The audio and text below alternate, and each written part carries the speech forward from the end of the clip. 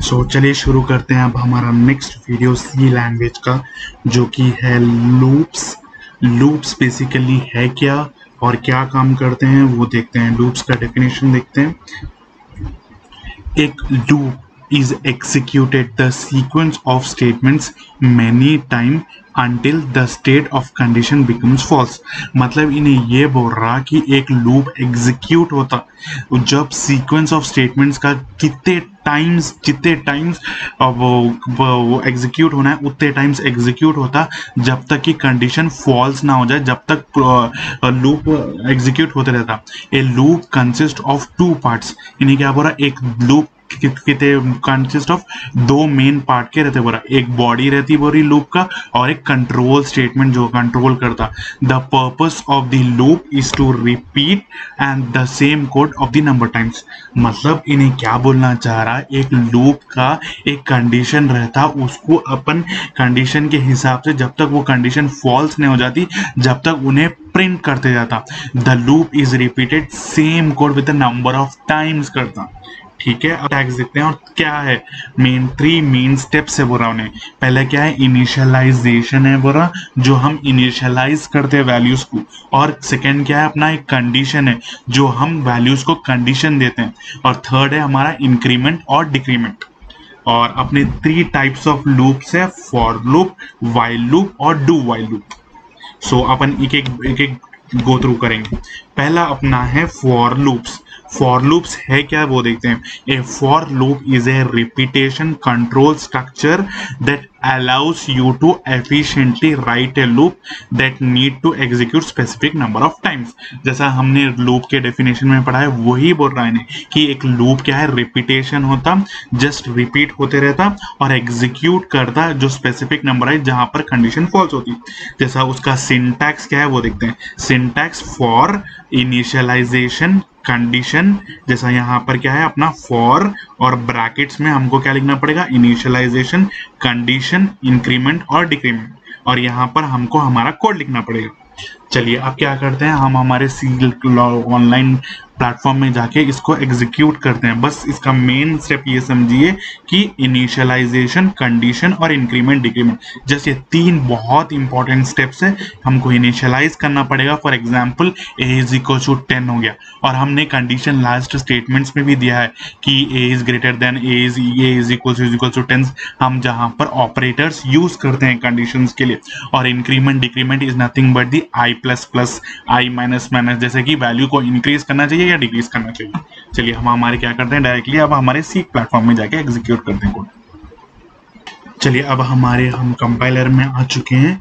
ये आ, हमारा सिंटैक्स है hashtag include int main brackets हमारे करली ब्रैकेट्स में हमको हमारा कोड लिखना पड़ेगा सो फ़र्स्ट हमारा क्या करना है? इनिशियलाइजेशन तो हम हमने सीखा था कि इनिशियलाइजेशन कंडीशन और इंक्रीमेंट और डिक्रीमेंट देना ज़रूरी है। तो हम क्या करेंगे? पहले इंट आई कॉमा पहले क्या हो गया ये? इनिशियलाइज करें।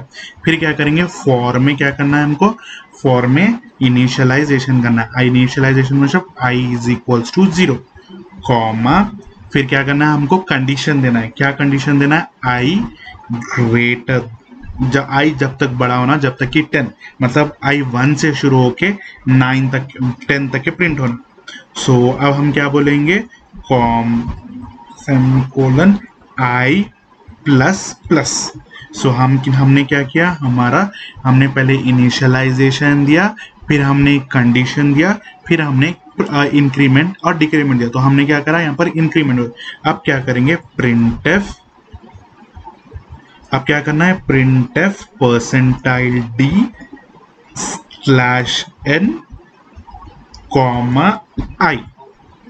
ये क्या करेगा? सिर्फ़ आई को प्रिंट करते जाएगा। आई को प्रिंट करते जाएगा, जब तक प्रिंट करते जाएगा, जब तक कंडीशन फॉल्स ना हो जाए। ठीक है? टेन तक है। आई आएगा वन होगा, आई आएगा ज़ीरो होगा, आई होगा वन होगा टू होगा टेन लास्ट टेन तक आएगा स्टॉप हो जाएगा। क्यों? मतलब यहाँ पर कंडीशन फॉल्स हो जाएगी। तो फिर यहाँ पर क्या करना ठीक है अब क्या करेंगे, यहाँ पर क्या बोलेंगे? Print f end of the program so यहाँ पर हम क्या कर रहे हैं बेसिकली जब हमारा जब कोड रन होता है, जब एट एक आई की वैल्यू टेन हो जाती है तो यहाँ पर क्या होगा एंड हो जाएगा। तो एंड के जगह पे क्या होगा एंड ऑफ़ द प्रोग्राम हमको प्रिंट करना पड़ेगा। चलिए अब अब रन करके एग्जीक्यूट करते हैं देखते हैं आउटपुट क्या आता है।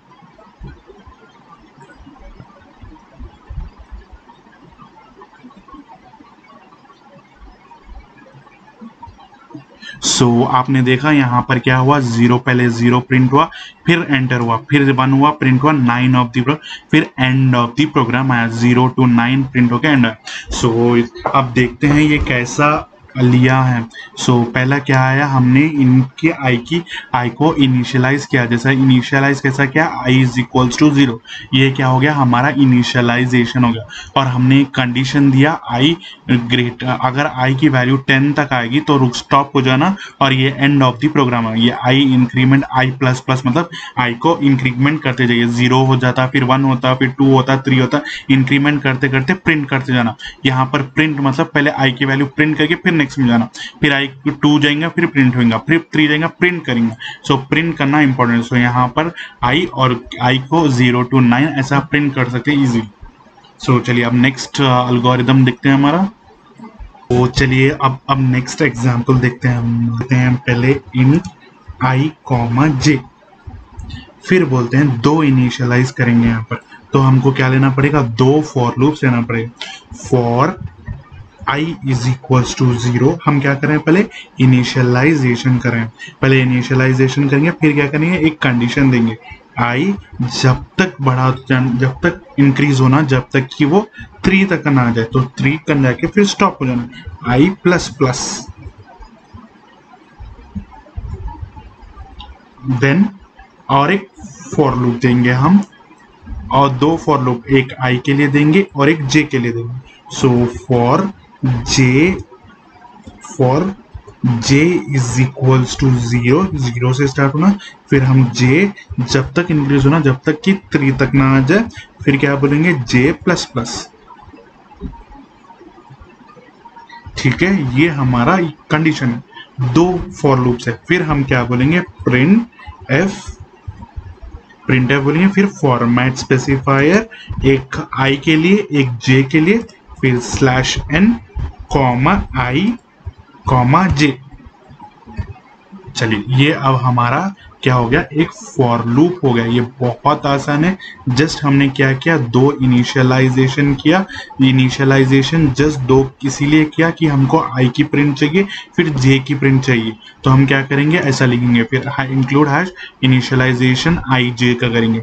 फिर फॉर लूप क्या है? एक फॉर लूप कैसे देते पहले इनिशियलाइजेशन फिर इंक्रीमेंट फिर कंडीशन फिर इंक्रीमेंट डिक्रीमेंट फिर यहाँ पर जे का भी सेम ऐसे करेंगे initialization condition increment decrement so हम क्या करेंगे? प्रिंट एफ़ ये प्रिंट करेंगे आई और जे के वैल्यूज़ चलिए रन करके देखते हैं अब क्या होता है.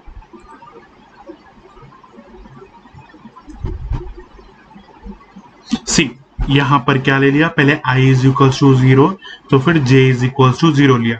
फिर i is equals to zero फिर j is equals to one जब जब i इंक्रीज हुआ, फिर j इंक्रीज हुआ. फिर i one J zero I one J one I one J बहुत आसान है जस्ट आप प्रैक्टिस करिए int main just for loops